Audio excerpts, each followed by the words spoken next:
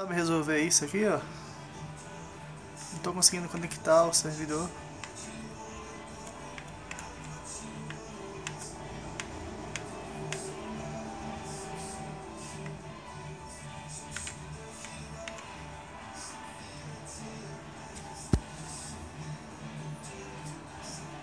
Aí como é que fica, ó.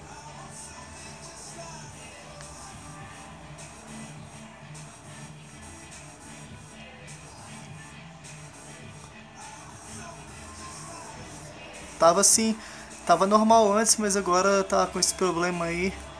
Depois que o Xbox ficou fora do ar por um, umas 3 horas, que era um problema da Microsoft.